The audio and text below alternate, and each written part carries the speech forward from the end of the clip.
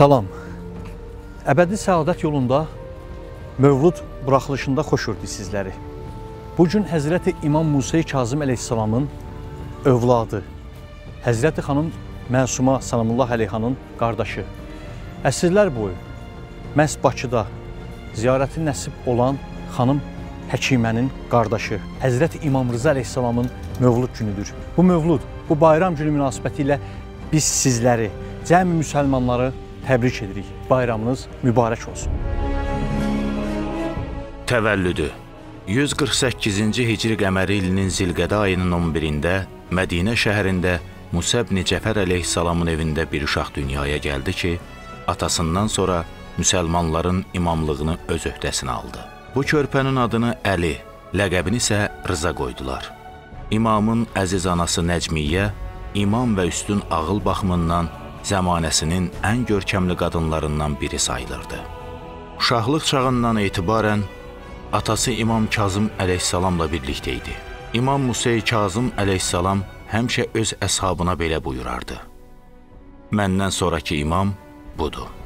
Bu barədə Məxsumi belə demişdi.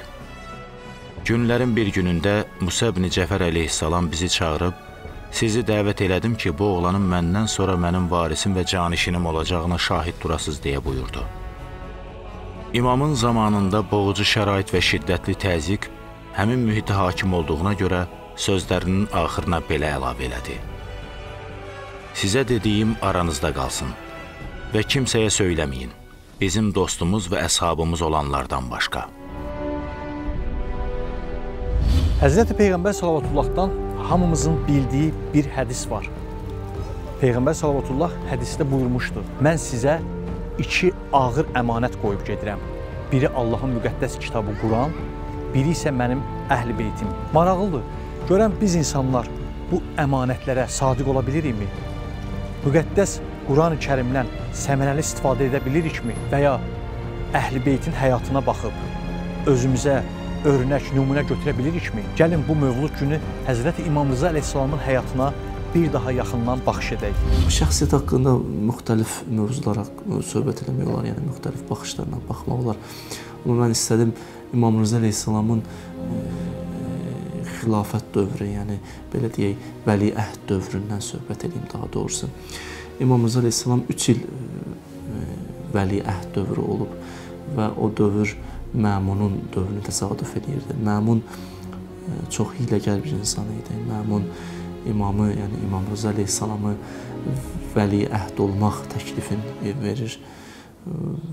Yaxud belə deyərdim, təklifdən də yuxarı imamı məcbur eləyir ki, onun vəli əhd olsun. Əlbəttə, onun da özünün məqsədi var idi, onun da özünün planları var idi ki, o imama düşmən idi, o dinə düşmən idi. Əlbəttə düşmənin e, yəqin ki, zahirdə xeyir görsənə bilər, amma həqiqətdə xeyir deyildi. Və Məmunun özünün planları var idi.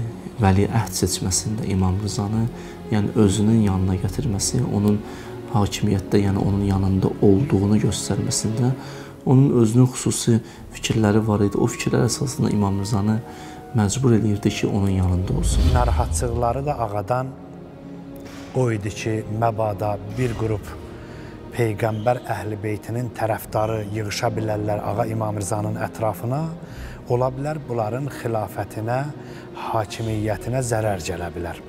Məhz ona görə də İmam Rıza əleyhissalamı ki, Mədinədə doğulub, Zilqədə ayında 148-ci ildə elə oldu ki, zorla Mədinədən dəvət elədilər Xorasana. Həmin dövrdə də xilafət artıq Xorasanda idi bizim fikrimiz burada xilafət tarixçəsini danışmaq deyil. Amma İmam Rıza salamullah aleyhin gəldilər aparmağa, xəbər vermişdilər ki, sizi xəlifə dəvət edir, istəyir vəliyyət eləsin. Amma Ağa İmam Rıza vəziyyətdən xəbərdar idi və hətta buyurdu ki, evlərində xaric olanda evindən səfərə dedi ki, mənim üçün bir matəm qurun, bir mərsiyə oxuyun, mən gedəm. ailə üzvləri dedi, ağa, nə üçün bəs sizi axı dəvət edir xəlifə bu cür qəmgin mərsiyə deyirsiniz, oxuyun, müsibətlə sizi yola salaq. Ağa buyurdu ki, bəli, mən bilirəm, onlar məni bu gedişlə ki aparır, mən sağ geri qayıtmayacağam. Onların fikri məni şəhid eləməkdir.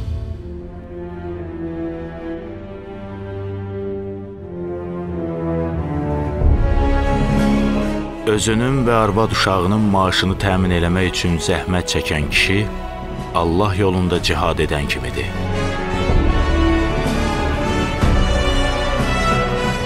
Tarix boyu bu müqəddəslik e, fikri ilə mübarizələr ediblər. Həm Əməvi xəlifələri, həm Abbasi xəlifələri. Və bu yolla İmam Rızanı öz yanına gətirməklə onun müqəddəsliyini aradan qaldırmaq istəyirdi. Belə ki, yəni e, imamlar dünyaya bağlı insanlardır. Onlarda xilafətdə gözü var. Bunu istəyirdi insanlara çatdırsın bu əməllə. Yəni onlar sadəcə olaraq onlar üçün şans yoxdur. Əgər şans olsa onlara dünyaya bağlı insanlardır, dünyaya meylli insanlardır. Bir fikri bu idi. Əlbəttə müxtəlif başqa işlər də görmüşdü. İmamın o hörmətini sındırmaq üçün məsələn e, belə bir işləri görürdülər ki, müəyyən hədislər nəql edirdilər üç cür hədislər nəql edirdilər. Bir növ hədislər imamı Allah səviyyəsinə gətirib çatdırırdılar, Allah həddinə gətirib çatdırırdılar.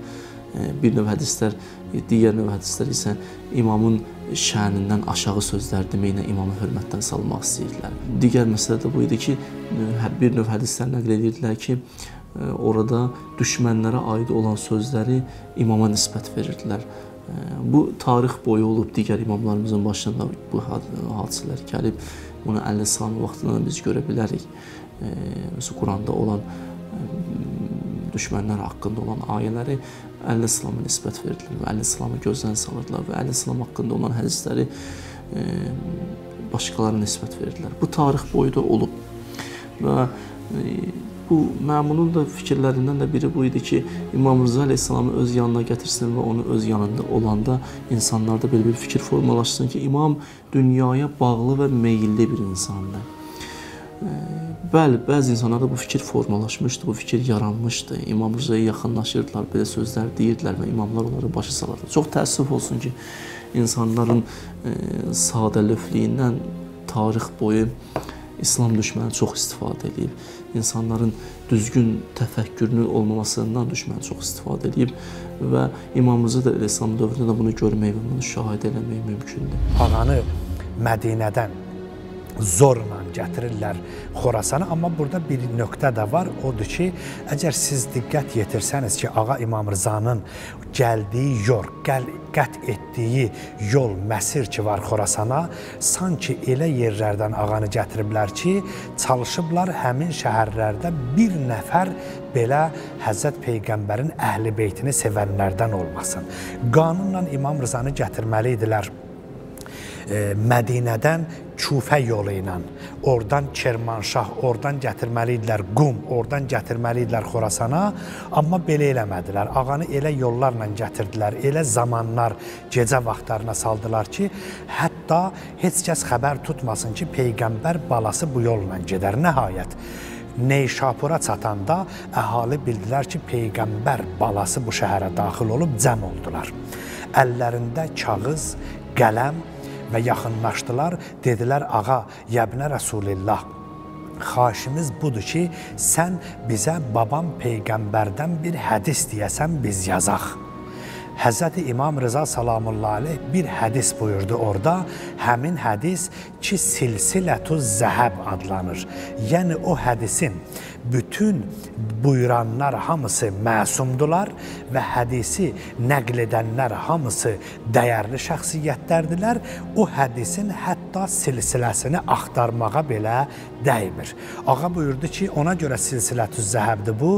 Yəni silsilətü zəhəb, yəni qızıl zəncir qızıl zəncir, yəni o deyilən deyənlərin hamısı dəyərli, məsum insanlar. Ağa İmam Rıza buyurdu ki, mən eşitdim atamdan, atam eşitdi öz atasından. Bir-bir imamların adını dedi və nəhayətdə buyurdu, o da eşidib Həzrət Əlidən, Həzrət Əli peyğəmbərdən, peyğəmbər Cəbrəildən. Cəbrəil Allah Taala tərəfindən bu xəbəri gətirib ki, kəlimətu la ilahə illallah hisni. Fəmən dəxələ hisni əminə min əzabi. Yəni mənası budur ki, la ilahə illallah kəlməsi bir hasara bənzəyir. Hər kəs bu hasara daxil olsa, Allah buyurur mənim əzabımdan amandadır, təhlükəsizdir. İmam Rıza əleyhissalam bu kəlməni buyurandan sonra buyurdu ki, "Velakin bi şərtiha və şurutiha." Amma həmin la ilahə illallah kəlməsini demək yalnız dildə deyil, şərtləndir. O şərtləri də var, bəzi şərtləri var. Buyurdu və ənə min şurutiha və mən o şərtlərdən biriyəm. Başqa sözlə desək, yəni İmam Rıza əleyhissalam buyurdu: "Mənim və bizim imamət və vilayətimiz la ilahə illallah kəlməsinin şərtlərindəndir."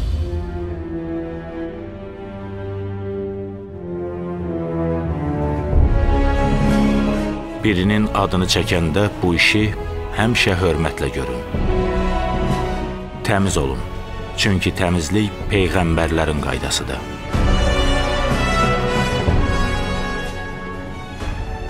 Əgər imam vəli əhdliyi qəbul edərdisə, bir növ görüntü bu idi ki, İmam Abbasi xəlifələrin xilafətin qəbul edir. Bundan istifadə eləyirdi Məmun. Yəni öz yanına çəkir ki, görürsüz İmam Rıza da bizim xilafətimizi təsdiq eləyir. Əgər bizim xilafətimizi təsdiq eləməsəydi, vəli əhdliyi qəbul eləməzdi, bizim yanımızda olmazdı. Bu fikri irəli sürmək istəyirdi. Üçüncü məsələ bu idi ki, o dövrdə Ələvilər artıq bir güc idi. Yəni Ələvilərdən məqsəd imamı sevənlər, e, imamlara məhəbbəti olan insanlar çox idi. O kütləni istəyirdi özünə tərəf cəlb eləsin, cəzb eləsin. O da onun fikirlərindən biri. Dördüncü də bu idi ki, Məmun öz qardaşı ilə xilafət uğrunda vuruşmuşdu. Təsəvvür eləyin, Məmunun qardaşı var idi. Əmin adlı bir qardaşı var idi. Əmin də xilafəti istəyirdi, Məmun da istəyirdi. Məmun Əmini öldürür və özü xilafətə keçir, xəlifə olur. Öz qardaşını öldürür və bu səbəb olur ki, Abbasilər içərisində bir bir problem yaranır, bir-birlərindən qarşı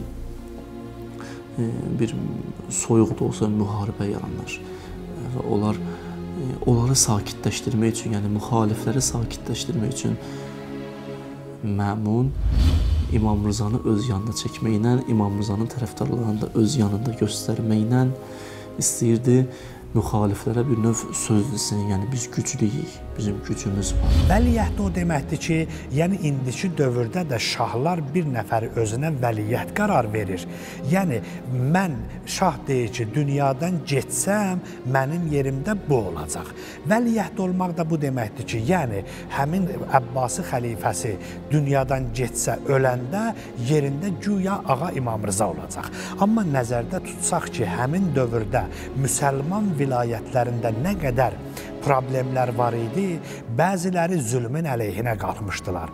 Bəziləri peyğəmbər ailəsindən İmam Həsən övladları qalxmışdı, öz haqlarını istəyirdilər. Bəzən Muhammərə, məsələn, Babək Xürrəminin tərəfdarları bir yerdə qalxmışdılar və bəzi yerlərdə hətta xilafətin öz içində o qədər ixtilaf var idi, amma ən tanınmış və düzgün şəxsiyyət o dövrdə peyğəmbər sülaləsindən İmam Rıza idi. Xəlifə istəyirdi ki, İmam Rızanı cəmaata göstərsin ki, vəliyyət qəbul eləyirəm. Yəni nə istəyirsiniz məndən? Mən ölən kimi mənim yerimdə İmam Rıza olacaq. Bu hərəkətdən istifadə eləyib o çaxnaşmanı sakitləşdirsin və özü ölməmişdən də qabaq İmam Rızanı şəhid eləsin, məsələ həll olsun. Ağa İmam Rıza orada bir gözəl söz dedi. Buyurdu ki, ay xəlifə, əgər bu xilafət sənindirsə, haqqan sənindirsə, sənə kim bu ixtiyarı verib, sən onu mənə bağışlayasan? Sözün dəyərinə baxaq. Yox, əgər sənin deyilsə, başqasınındısa əslində həqiqətdə sən başqasının xilafətini mənə necə verə bilərsən? Hər iki halda ağa istəmir qəbul eləyə. Çünki bizim məsum imamlarımız zahirən xəlifə olmağı istəməzlər ki, onlar yer üzündə höccətdilər. Onların vilayəti, itaəti bütün mömin müsəlmanlara vacibdir. Ağa İmam Rızanı məcbur elədilər buna və ağa məcburiyyətlə qəbul elədi. Yəni qəbul elədi də demək artıqdır bu söhbətə. Yəni məcbur boynuna qoydular, amma özü xəlifə ölməzdən əvvəl ağaya zəhər verir və şəhid eləyir. Maraqlısı budur ki, hər bir imam, hər bir məsum öz həyatında, öz dövründə boyuna düşən vəzifəsini uğurla həyata keçirmişdi.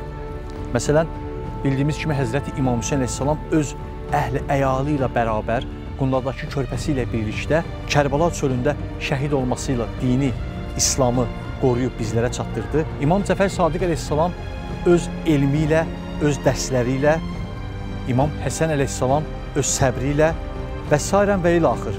Həmçinin Həzrəti İmam Rıza əleyhissalam da öz dövründə vəzifəsinə çox gözəl əməl etmişdi. Təbii ki, bunlar Allahın yer üzündə höccəti olmalarından irəli gəlirdi. Həzrəti İmam Rıza əleyhissalam düşmənin ona qarşı olan hiləsini çox böyük ustalıqla dəf edib, bundan müsbət istifadə edib Allahın yer üzərində olan missiyasını tamam etdi. İmam ə, vəziyyətin bir başqa cür olduğunu gördü. Ya vəliəhliyi qəbul etməli idi, ya ölməli idi. Və başa düşdü imam ki, ölməyin burada mənası yoxdur. Çünki ölmək o zaman xeyirlidir ki, bu ölməyimin İslamın dirilişinə səbəb olsun. İmam Hüseyn əleyhissalam kimi. İmam Hüseyn əleyhissalam dünyasını dəyişir, amma dünyanı dirildir. Ölmək o zaman xeyirli idi ki, insanların o ruhu dirilsin. Amma İmam Rıza əleyhissalam başa düşdü ki, burada o ölməyin mənası yoxdur. Yəni burada ölmək vaxtı deyil. Burada bir başqa bir iş görmək lazımdır. Onun yanına gedib İslamın xeyrinə işlər görmək lazımdır və imam bundan e, müsbət istifadə elədi. Yəni o düşmənin hiləsindən müsbət istifadə elədi vəliəhliyi də qəbul elədi. Yenə də ilk öncə dediyim kimi ilk əvvəl məcbur məcburiyyət oldu və imam da onu insanlara çatdırdı ki, görsünlər, yəni imamı çağıran kimi getmədi. İmam məcbur şəkildə qaldı. Məcburiyyət məcburiyyətdən doğdu onun getməsi və bunu da imam insanlara çatdırdı. Ağa İmam Rızanın öz dövründə o qədər ehtiram sahibi idi. Hətta qeyri-müsəlman alimləri belə bir məclis qurulurdu ağa ilə sual-cavabda. Nəhayət ağa İmam Rıza sallamullahi dəfn olunur. Bugünkü gündə həmin yer bir ziyarətgahdır. Diqqətinizə çatdırım ki, Həzrət Peyğəmbərimiz sallallahu alayhi və alihi və səlləmdən iki kəs barəsində bir müqəddəs kəlam var. Onun biri Fatimə Zəhra barəsində. Ağa Rasulullah buyurur: "Fatimə bid'atun minni." Fatimə mənim canımın yarısıdır. Və mən azaha fəqəd azani. Hər kəs Fatiməyə əziyyət eləsə, elə bil mənə əziyyət eləyir və ilə axir hədis. Amma ikinci şəxs barəsində yalnız Həzrət Peyğəmbər buyurub ki, mənim canımın yaras yarısıdır İmam Rızadır. Ağa buyurdu ki, sətudfən bid'atun minni bi ardı tus. Mənim canımın yarısı Tusda dəfn olunacaq. Hər kəs onu ziyarət eləsə, elə bil məni ziyarət eləyir. Hər kəs onu arifən bi haqqı ziyarət eləsə, cənnət onunkidir, əgər imanı, təqvası və digər əməlləri də yerində olsa. İmam Rıza əleyhissalamın ziyarəti qədimdən bizim ən dəyərli yerimiz olub. Xalqımız həmişə çalışıb ki, Məşədə getsin, İmam Rızanı ziyarət eləsin. Sanki bir iftixar olub Məşədilərin bizim cəmaatın ərazimizdə, ətrafımızda olanların qədimdən yanında Məşədlərin bir mövqeyi olub. İmam Rıza əleyhissalamın ziyarətinə daxil olanda orada divarda bir beyt var. Həmin beyti o dövrdə məşhur bir ərəb şairi Du'bəl Xəzai Kufi ki, şairlərin ən səviyyəsindən böyük bir şəxsiyyətindən biri idi, tanınmış bir şair. İmam Rızanı ziyarət eləyəndə görür ki, Harun Ər-Rəşid də onun yanındadır. Ağanı dəfn eləyiblər Harun Ər-Rəşidin qəbrinin yanında. Gözəl bir beyt deyib ki, yazılıb indi də orada. Buyurur ki, qəbran fitus xeyrun nasi kulluhumu və qabru şərrihim hada minəl ibari. Tusda iki qəbir var. Biri insanların ən yaxşısıdır və biri isə insanların ən pisidir. Davamında buyurur: "Ma yenfa'u şerru ma yenfa'u riz min qurbi zəkiyyi vəla." Yəni o pis insan ki onun yanında var, o yaxşıdan özü pis olduğuna görə yaxşıdan heç fayda götürə bilməz. Və eləcə də pis yaxşının yanında olanda da yaxşıya da bir zərər yetirə bilməz.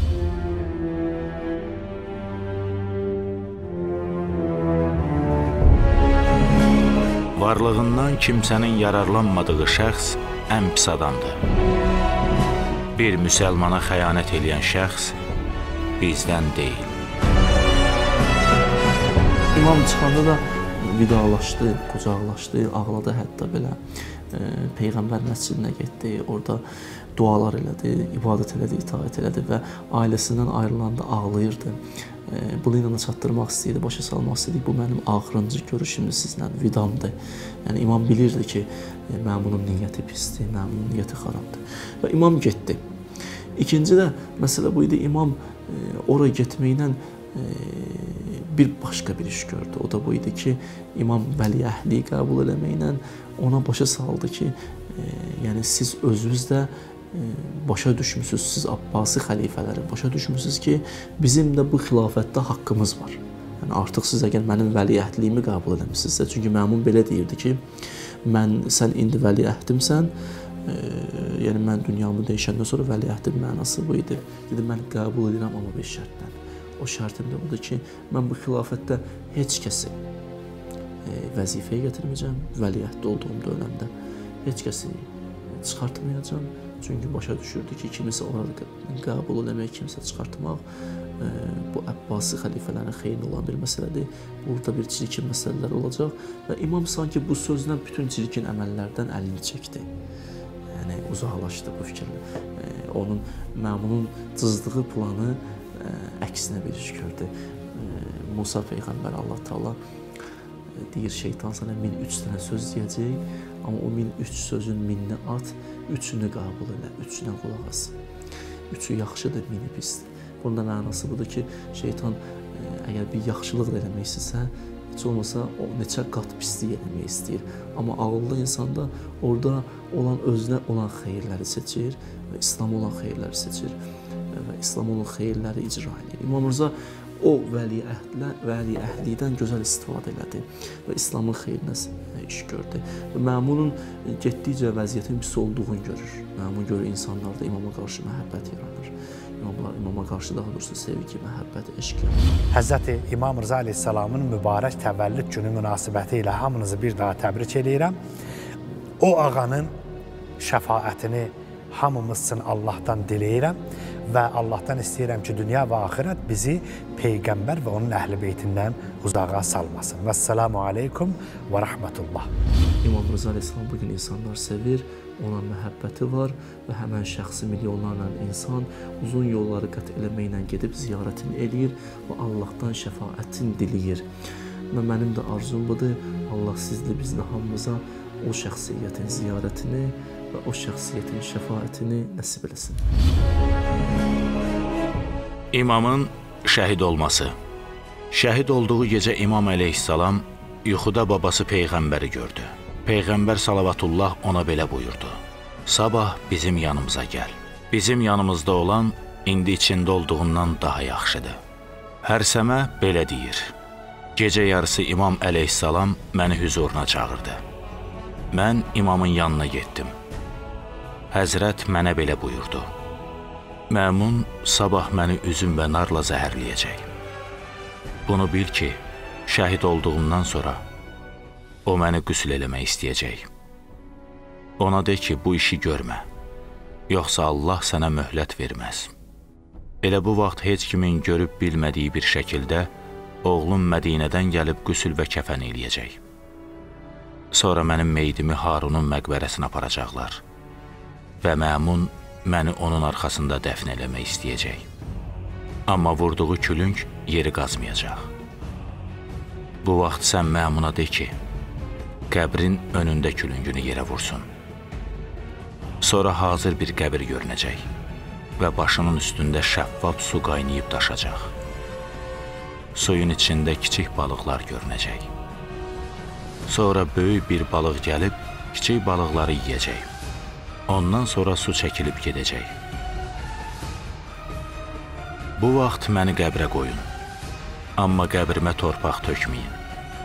Çünki qəbir öz-özünə dolacaq. Ey hərsəmə, dediyim işləri görün və qoymayın ki, ayrı iş görülsün. Yoxsa Allah sizə əzab verər. Nəhayət məmun Həzrəti Mərvdən Bağdada gedən yolda Tuz şəhərində zəhərli üzümlə zəhərlədi. Həzrət əleyhissalam evinə qayıdıb köhnə dostu Əba Səltə belə buyurdu. Evin xalçalarını yığışdır və heç kimi evə gəlməyə qoyma. Mənim can verən zamanımdır. Mən də babam Hüseyin kimi torpaq üstündə can vermək istəyirəm. İmamın şəhid olmasından əvvəl Məmun Həzrətin yanına gəldi. İmam əleyhissalam gözlərini açıb ona belə dedi. Oğlum İmam Məhəmməd Təqi ilə yaxşı rəftar elə. Çünki sənlə onun vəfatı bir-birinə yaxındır.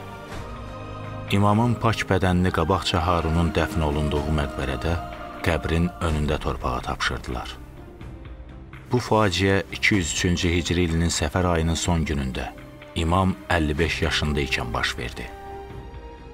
İmamın şəhid olmasından sonra Xorasanda böyük bir üsyan baş verdi və Məmun özünü əzadar göstərmək üçün ağlaya-ağlaya başına döyürdü. Amma əksəriyyət bilirdi ki, Məmun imamın qatilidir. Məmun üsyançıların qorxusundan və qiyamın genişlənməsinin qarşısını almaq üçün bir gecə gündüz icazə vermədi ki, imamın meyidini evdən çıxartsınlar. O həmçinin xalqın arasına öz adamlarını göndərdi ki, imamın öz əcəli ilə öldüyü şayəsini yayıb, məmunun bu işdə əl olmadığını inandırsınlar. Amma bütün bu cəhdlərə baxmayaraq, o özünü günahsız göstərməyə müvəffəq olmadı. Günü gündən xalqın gözündə daha da dəyərsiz oldu və nəhayət çox pis bir vəziyyətdə öldü.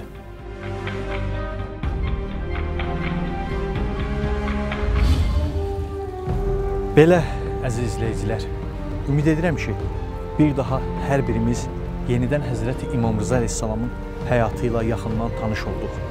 Sevindirici hal budur ki, bu gün hər birimiz, hər bir insanın Həzrəti İmam Rıza əleyhissalamı ümumilikdə 14 məsum əleyhissalamı ziyarət etmək, onların şəfaətinə nail olmaq şansı var. Mən isə sizin də əbədi səadət yolunda yenidən əlamətdar mövzularla görüşmək ümidi ilə sizləri əbədi səadət yolunda qoyub gedirəm. Sağ olun.